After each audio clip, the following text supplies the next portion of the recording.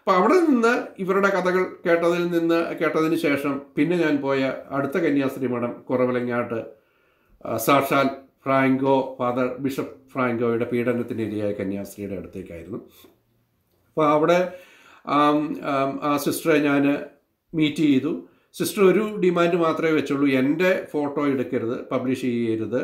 പക്ഷേ മറ്റു കന്യാസ്ത്രീകളോട് സംസാരിക്കാനായിട്ടുള്ള സാഹചര്യം അവിടെ ഉണ്ടായി.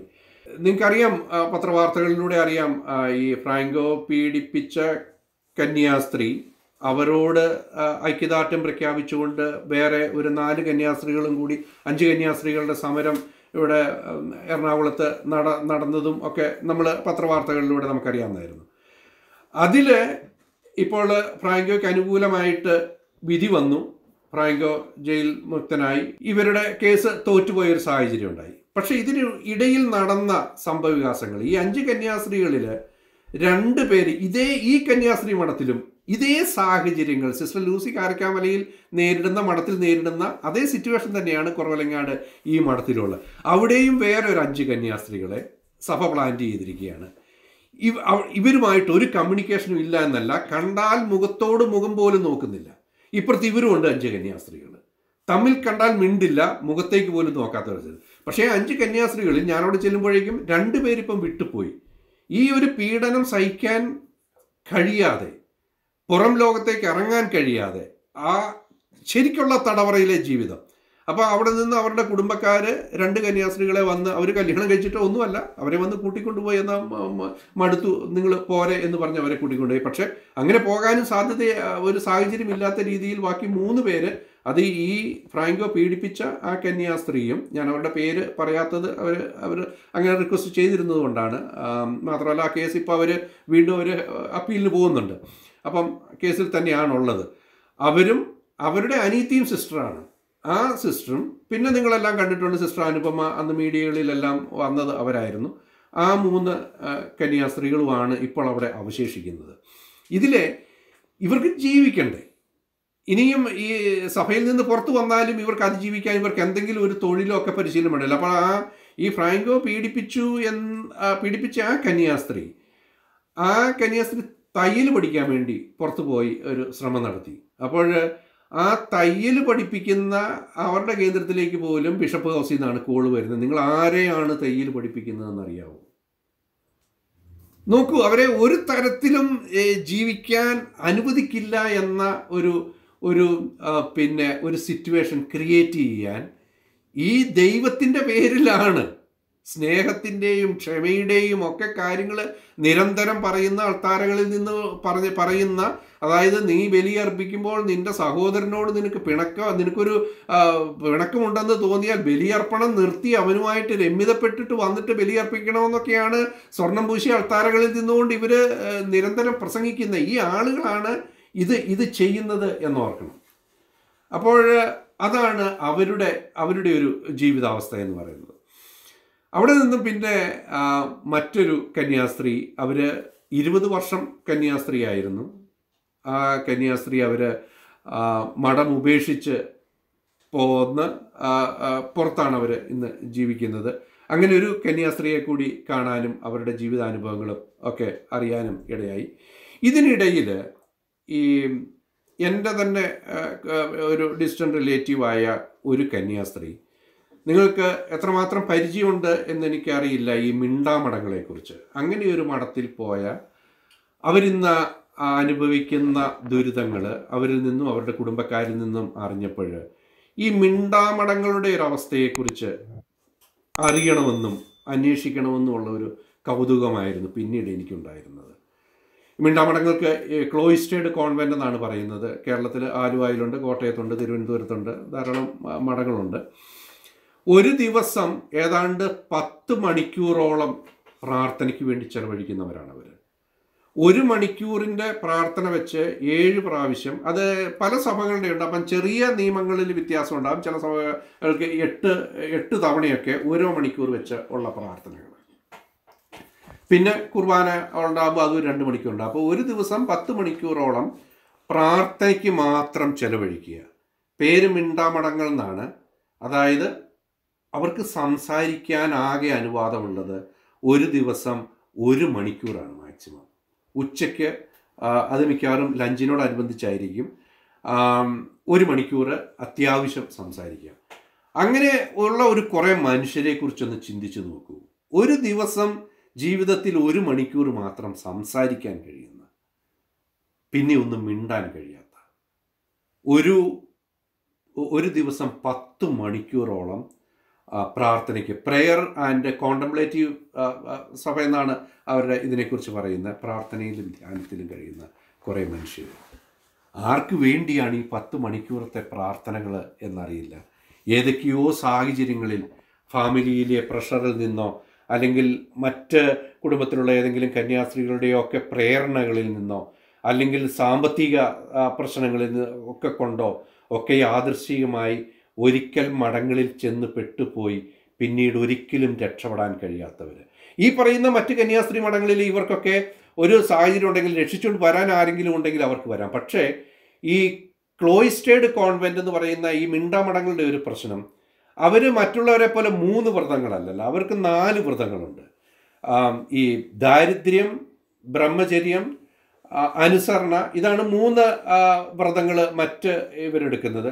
ഇവർക്ക് പിന്നെ ഒബീഡിയൻസ് പോവർട്ടി സെലിബസി ഈ മൂന്നിനോടൊപ്പം എൻക്ലോഷർ എന്ന് പറയുന്ന ഒരു വേറൊന്നും കൂടിയുണ്ട്. എൻക്ലോഷർ ഒരു ഒരു വ്രതം കൂടിയുണ്ട്. ഈ എൻക്ലോഷർ വ്രതത്തിലാണ് ഇവർക്ക് മഠം വിട്ട് പുറത്തു വരണമെങ്കിൽ മാർപ്പാപ്പയുടെ നേരിട്ടുള്ള പെർമിഷൻ കിട്ടണം. അത് ഒരു കാരണവശാലും ഇവർക്ക് കിട്ടാനും പോകുന്നില്ല. ഇവർക്ക് മാർപ്പാപ്പനെ റീച്ച് ഔട്ട് ചെയ്യാനും സാധ്യമല്ല. അപ്പോൾ ഒരിക്കൽ പെട്ടുപോയാൽ ജീവിതകാലം മുഴുവൻ പെട്ടുപോകുന്ന ഒരു ഒരു ശരിക്കുള്ള തടവറ. അതുകൊണ്ടാണ് ഞാൻ അന്ന് ആ പ്രഭാഷണത്തിന് തടവറയിലെ കന്യാസ്ത്രീ ജീവിതങ്ങൾ എന്ന് പേരിട്ടിരുന്നത്. യഥാർത്ഥ തടവറയിലെ ജീവിതം അനുഭവിക്കുന്ന പത്ത് മണിക്കൂർ ഒരു ദിവസം പ്രാർത്ഥനയ്ക്ക് ചെലവഴിക്കുന്ന ഇവർക്ക് രണ്ട് തവണ ഇവർക്ക് വീട്ടിൽ പോകാം ഇവരുടെ വീട്ടിലാകെ രണ്ട് തവണ ഇവർക്ക് പോകാൻ പറ്റും. ഒന്ന് ഇവരുടെ അപ്പൻ മരിക്കുമ്പോൾ. രണ്ട് ഇവരുടെ അമ്മ മരിക്കുമ്പോൾ. പിന്നെ വീട്ടുകാർക്ക് ഇവരെ വിസിറ്റ് ചെയ്യാം. എത്ര പ്രാവശ്യം വേണമെങ്കിലും. പക്ഷേ അത് ഇവർ ഡെത്ത് ബെഡിലായിരിക്കുമ്പോൾ മാത്രമാണ്. ഇവർക്ക് എന്തെങ്കിലും ഒരു ചെറിയ അസുഖം വന്നാലോ കോവിഡ് വന്നാലോ അല്ല. ഈ പറയുന്ന കന്യാസ്ത്രീ മരിക്കുമെന്ന് ഉറപ്പായ ഒരു രോഗം വന്ന് ഇവർ ഡെത്ത് ബെഡിലാണ് എങ്കിൽ ഇവരുടെ വീട്ടുകാർക്കും ഇവരെ വിസിറ്റ് ചെയ്യാം. ഒരു കാരണവശാലും സന്തോഷകരമായ ഒരു ഫങ്ഷന് ഇവരുടെ കുടുംബത്തിൽ ഇപ്പം അവരുടെ ആങ്ങളമാരുടെയോ ആങ്ങളമാരുടെ മക്കളുടെയോ ഒക്കെ വിവാഹമോ മാമുദീസയോ ഹോളി കമ്മ്യൂണിയനോ പോലെയുള്ള സന്തോഷമുള്ള ഒരു ഫങ്ഷനും ഇവർക്ക് പങ്കെടുക്കാനായിട്ടാവില്ല. പങ്കെടുക്കാൻ കഴിയുന്നത് അപ്പന്റെയോ അമ്മയുടെയോ മരണത്തിൽ മാത്രമാണ്. അപ്പോൾ ഇങ്ങനെ വീടുമായിട്ട് പോലും ബന്ധപ്പെടാൻ കഴിയാതെ. ഇനി ഇങ്ങനെയുള്ള ഏതെങ്കിലും സാഹചര്യത്തിൽ ഇതിൽ ചെറിയ ഇളവുകൾ ചെറിയ മഠങ്ങൾ ചില മഠങ്ങൾക്കുണ്ട്. വിസിറ്റ് ചെയ്യാൻ അനുവദിക്കുന്ന പക്ഷേ ആ വിസിറ്റ് ചെയ്യാൻ അനുവദിക്കുന്നത് ഒരു പിന്നെ സ്ക്രീനിന്റെ ഇപ്പുറത്ത് നിന്നുകൊണ്ടായിരിക്കും. അവർക്ക് ചെല്ലാം അങ്ങനെ അനുവദിക്കുന്ന ചില സഭകളുണ്ട്. ഓരോ സഭകൾക്കും ചെറിയ ചെറിയ ഇളവുകൾ ചെറിയ ചില നിയമങ്ങളുണ്ട്. ഇപ്പം ഒരിടത്ത് ഏഴ് മണിക്കൂറാണ് പ്രാർത്ഥനയെങ്കിൽ വേറൊരിടത്ത് അല്ല ഒരിടത്ത് പത്ത് മണിക്കൂറാണെങ്കിൽ എട്ട് മണിക്കൂർ പ്രാർത്ഥനയൊക്കെ ഉള്ള ഉള്ളതുപോലെ തന്നെ ഈ കുടുംബാംഗങ്ങൾക്ക് ചില പ്രത്യേക സാഹചര്യങ്ങളിൽ വിസിറ്റ് ചെയ്യാൻ അനുവദിക്കുമെങ്കിലും പക്ഷേ നേരിട്ട് മുഖം കാണത്തില്ല. ഈ സ്ക്രീനിന്റെ ഇപ്പുറത്ത് നിന്നുകൊണ്ട് ഒന്നോ രണ്ടോ വാക്കുകൾ സംസാരിക്കാൻ കഴിയുന്ന ചില ഇളവുകൾ ഉള്ള മടങ്ങുന്നുണ്ട് അപ്പോൾ ഇതാണ് ഇവരുടെ ഒരു ജീവിതം. ഇങ്ങനെ ഈ പ്രാർത്ഥിക്കുക എന്ന് പറയുന്നത് പക്ഷേ എങ്കിലും ഈ മിണ്ടാമടങ്ങളിൽ ആളുകൾ ചെല്ലുന്നുണ്ട്. അവിടെ വിസിറ്റ് ചെയ്യുന്നുണ്ട്. അവിടെ പ്രാർത്ഥന ആവശ്യങ്ങളുമായിട്ട് ചെല്ലുന്ന ഒരാഴ്ച ചിലപ്പം പത്തും അമ്പതും പേര് പ്രാർത്ഥന ആവശ്യങ്ങളുമായിട്ട് ചെല്ലുന്ന മടങ്ങളൊക്കെയുണ്ട് ഇപ്പോൾ ആളുകൾക്ക് വീട്ടിൽ ഇപ്പം ഏതെങ്കിലും രോഗമൊക്കെ ആയിട്ട് ഫൈറ്റ് ചെയ്ത് ക്യാൻസറൊക്കെ ഉള്ളവർക്ക് പ്രാർത്ഥന ആവശ്യമുണ്ടെങ്കിൽ ആ ഒരു കാരണത്തിന് വേണ്ടിയാണ് ഈ മിണ്ടാമടങ്ങളിൽ പൊതുസമൂഹം ആൾക്കാർ ചെയ്യുന്നത്. പക്ഷേ ഇവരവിടെ ചെന്ന് കഴിഞ്ഞാൽ ഇവരുമായിട്ട് കമ്മ്യൂണിക്കേറ്റ് ചെയ്യാനായിട്ട് ആ കന്യാസ്ത്രീയുടെ പേര് തന്നെ കമ്മ്യൂണിക്കേറ്റർ എന്നോ മറ്റുമാണ് മറ്റുമാണ് അങ്ങനെ ഒരു ഡെസിഗ്നേഷൻ ഉള്ള ഒരു കന്യാസ്ത്രീ എല്ലാ മിണ്ടാമടങ്ങളിലും ഉണ്ടാവും. അപ്പോൾ ആ കന്യാസ്ത്രീയെ മാത്രമേ ഇവർക്ക് കാണാൻ കഴിയൂ. അതും ഈ പറയുന്ന സ്ക്രീനിന് അപ്പുറത്തിരുന്നുകൊണ്ട് തന്നെയാണ്.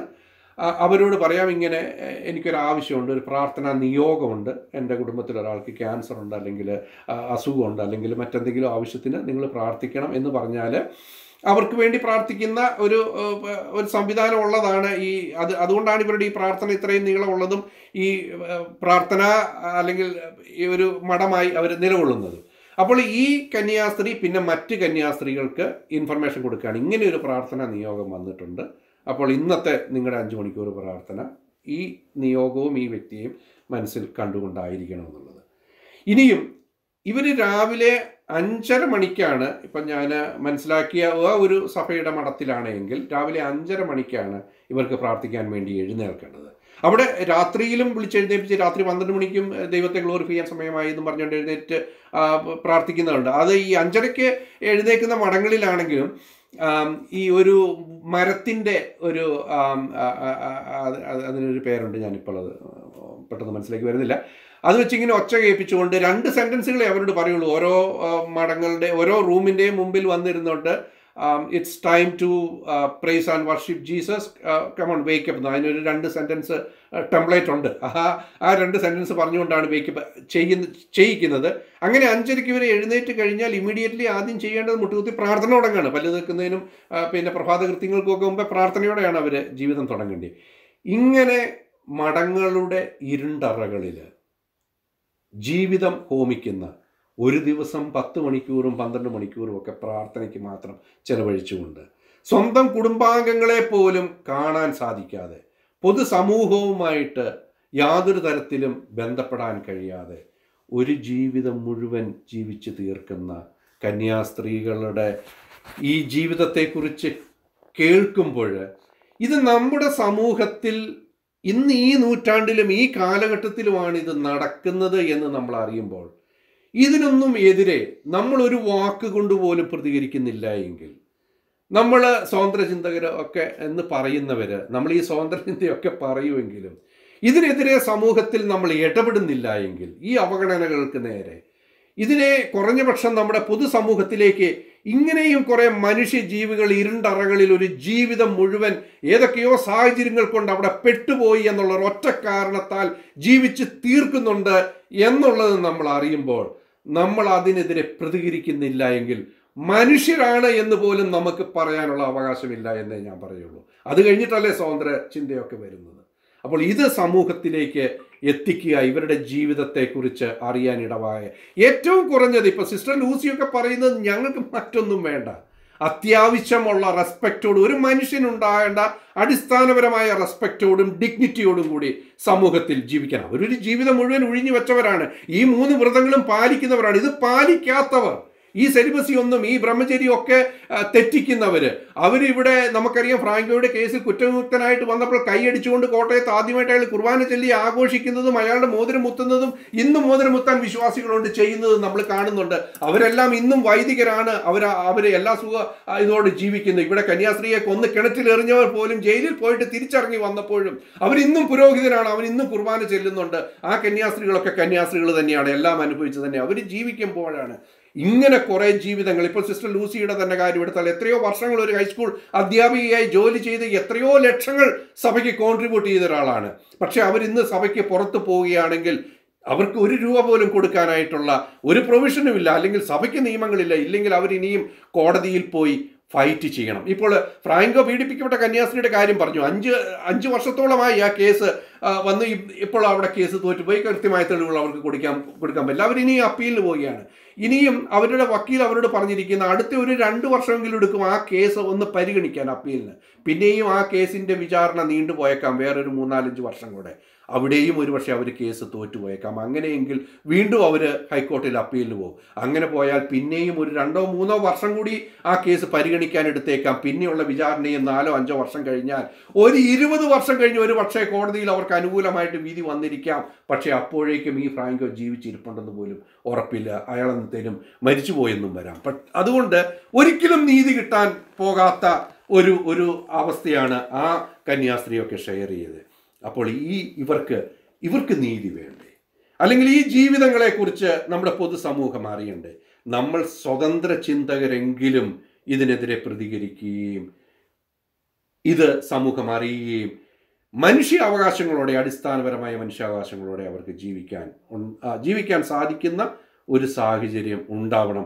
അത് നമ്മളുടെ ഒരു ഒരു വിഷയമായി നമ്മുടെ സ്വതന്ത്ര ചിന്തകരുടെ മാറണം എന്നുള്ളത് പൊതുസമൂഹത്തിലേക്ക് അറിയിക്കുക എന്നുള്ളതായിരുന്നു ആ ഒരു രണ്ടാഴ്ച എന്റെ കേരളത്തിലെ ഈ ഒരു യാത്രകളുടെയും ഈ സന്ദർശനങ്ങളുടെയും ലക്ഷ്യം.